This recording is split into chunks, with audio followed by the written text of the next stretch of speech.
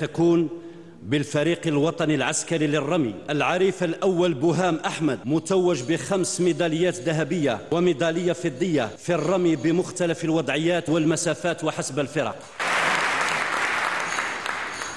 الفريق الوطني العسكري للمصارعة المشتركة العريف جزانية سفيان المتوج بميداليتين ذهبيتين الأولى في وزن أقل من 55 كيلوغرام المصارعة الإغريق رومانية والثانية في وزن أقل من 57 كيلوغرام مصارعة حرة.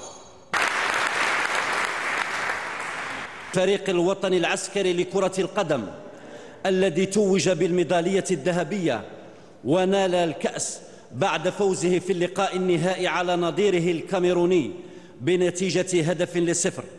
هذا التتويج أهله أهل فريقنا الوطني مباشرة إلى كأس العالم العسكرية لكرة القدم القادمة.